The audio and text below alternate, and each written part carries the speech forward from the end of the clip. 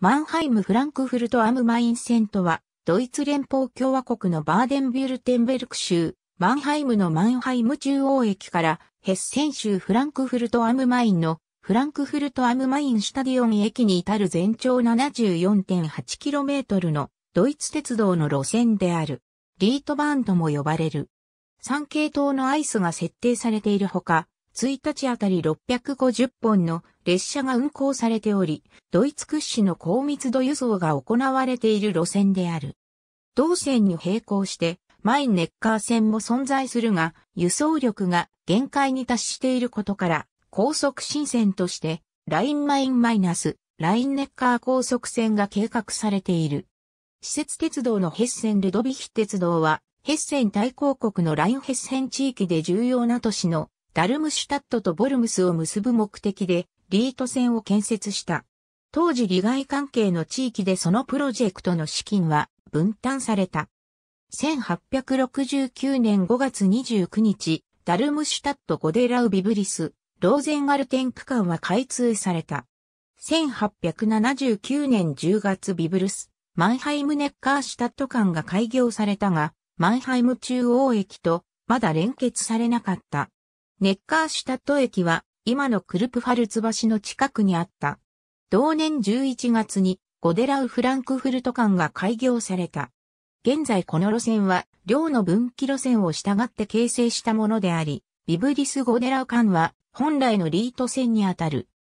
1880年、ケファータールを経て、ライン国線と接続する、迂回線は完成され、リート線列車がその新線を通って、マンハイム中央駅まで走るのは可能になった。列車がカールスルーへあるいは、シュトットガルト方面に走る前に、マンハイム中央駅で方向を転換して進まねばならなかった。1899年、フランクフルト・マンハイム間の複線化が完了した。電気信号システムが導入された後、1901年末人力は7カ所の駅に配置された。第二次世界大戦の直前、マンハイム区間の移設とランペルトハイム、ダルムシュタット・エバーシュタット間の高速線建設の計画はすでに交通省によって許可された。しかし戦争のためその計画は実現されなかった。連続列車制御装置が設置された線路、ダルムシュタット・ゴデラウ間は1975年、大部分廃止された。1977年3月マンハイム西部線の建設を含めるフランクフルト・マンヘーム線路、改修企画案はドイツ連邦交通計画1973の行政委員会に提出され、同年5月採択された。連邦交通省はドイツ連邦交通計画1985の準備するために、リート線及び近地比谷線の調査調査を依頼した。費用便益分析の結果、指数は15だった。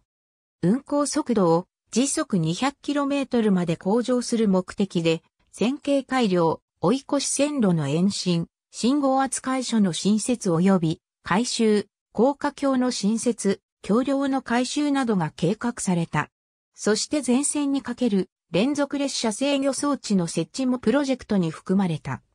リート本線の改修工事の一番目段階として1985年、マンハイム西部線が開通された。貨物列車は、現在主にリート東部線に通行している。1987年ワルトホーフ・フランクフルト、シュタディオン間の改修工事が、プロジェクトの2番目段階として始まった。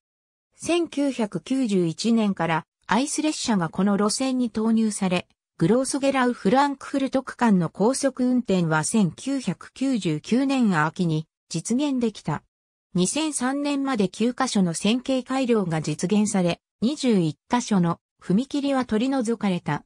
マンハイム昇降停車場を通過する TGV、デュープレックス列車リート西部線は1985年、開通されたリート本線の新線で、マンハイム中央駅とマンハイムバルトホーフ駅を結ぶ鉄道路線である。この路線の開通で南側へ向かう列車の場合、方向転換の必要がなくなった。列車はバルトホーフ駅を通過し、東側に迂回せず、マンハイム中央駅に至る。バルトホーフ駅旧ネッカーシュタット駅間の旧線の一部が、この路線に含まれている。西武線の最高速度は時速 160km で、2つの軌道間隔は4.0メートルである。点型列車制御装置が保安設備として設置されており、5km 地点から連続列車制御装置が採択されている。この路線には、ほとんどの旅客列車が運行されている。全区間は、ラインネッカー運輸連合に属する。マンハイム、グロースロアハイム間は、ラインネッカー運輸連合の運賃区域に属し、ニーダーシュテッテンフランクフルト間は、ラインマイン運輸連合により管理されている。ありがとうございます。